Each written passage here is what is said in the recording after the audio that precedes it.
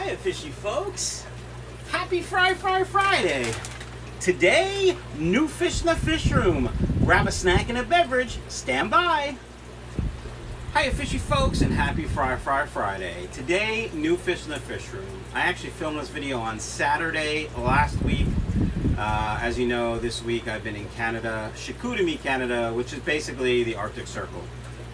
Anyway, um, I went to my local fish store to buy some additional foam inserts for my AquaClear filter. I wanted to try to make a uh, uh, duckweed trap. We'll see how that goes, maybe in another video. Anyway, while I was there, he let me know he got an import order in from a transshipper, which he hasn't ever done before. I, actually, I remember him saying he was going to do it, and I never followed up, but uh, apparently the transshipper sent him only females, which apparently is kind of common. So uh, he said they were pre-hit. I took a look at them. They look pretty good. I got a couple of females. I think I have four females. They are blue neon guppies, and I'll show those to you in a second. While I was there also, he said, oh, my regular guy, my regular Friday guy had um, blue cobras. And I looked at them, and they also look pretty nice, pretty healthy. I'm sure they got something, so they'll be in quarantine for a couple weeks with uh, some levamisole meds. Actually, I'm going to use um, Everything Aquatics uh, medicated fish food. I'll hit them with the trio as, as usual, but then I'm only going to feed them the medicated food. So I got to figure out tanks. Um, I thought I had it figured out, then I'm not really sure, but you know how it goes in Michael's Fish Room. Nothing's ever really planned. So, would you like to see the fish? Would? Alright. In this bag, we have four blue neon females. And uh, one of them looks like she's ready to pop today. Um, he said he didn't lose that many. I was pretty happy with that. They're pretty nice size, so boom. We're going to put them up here. Now, see, up there is where I was going to put the babies from the special project. So maybe we'll put them in this tank, which has hardly any water in it because I'm cleaning it. And then these are the, I got three pair of blue cobras. And the reason I got three pairs, I'm going to take two males and put them in my all male tank after they go through quarantine.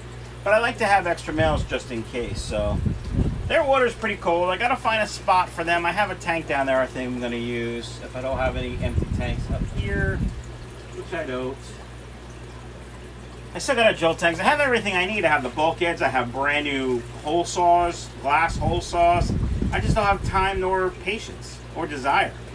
All right, folks, I'm going to go watch a movie with the, the kids, and then uh, I'll come back and uh, film. So these are going to get acclimatized.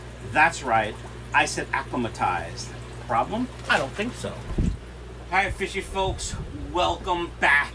It's time to plop and drop. That's right, folks, plop and drop. It's how I acclimatize all my fish. First, we temperature acclimate, and then boom, plop and drop. And the plop and drop is very simple. We take the bag, like so, and our little man knife, pop the bag, plop the fish without the water from the store into a net, boom, drop them in the tank. And that's it. Now I'm gonna let them get acclimatized in here for probably about an hour or so. Uh, then I'm going to come back and medicate. We all know the standard medications I use. Ich-X from Aquarium Solutions, EM erythromycin from API, and General Cure from API. That'll basically take care of inside, outside, and on top. It's kind of how I look at it. Now, that is the trio of medicines I have chosen to use. What you use, what you choose to use, all on you. I will use that. In addition, I will feed medicated flake food to get rid of internal parasites because these were grown in a fish farm somewhere. So there's about a 100% chance they have some sort of internal parasite. This is how it is, folks. I will try not to net them out. I'll try not to put my hands in the water for at least a week while I medicate That's just like an internal Michael's Fish Room rule. What you do in your fish room or in your tanks, all up to you. All right, guys, go grab another snack and a beverage. Stand by. I'm going to go do the other plop and drop, and then I'm going to go eat dinner, and then I'm going to come back. So stand by. But seriously, are you standing by or are you sitting? All right, fishy folks, it is about an hour and a half later. The uh, blue cobras have settled in nicely. Uh, I didn't completely clean the tank like I thought I was going to because basically I forgot and I'm lazy. But I do have a filter to go in there. Boom. Tank is now cycled. Uh, I do have some Java moss in there. The water is low for a reason. Let me know in the comments below why you think the water is low, and then I will let you know if you are right. Uh, let's go check out the other ones, but first, some super red bristlenose fry because they are adorable. And uh, yeah, I'm pretty excited. Like I said, there's probably three batches in there.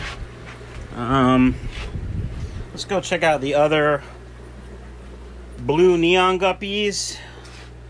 Uh, I did just add the filter to this one as well. Of course, we can't see them here. This is a wonderful video, guys. um, oh, there they are, hanging in the back. Just chilling. There is a heater here, but the heater's not on. Um, move that out of your way. They, uh, they're pretty bland. They're just females. Most female guppies are pretty bland, and these are no different. Some of them are quite pregnant though, so I hope to see fry when I get back from Canada. And uh, that's that. All right, fishy folks. I hope you enjoy the new fish at Michael's Fish Room.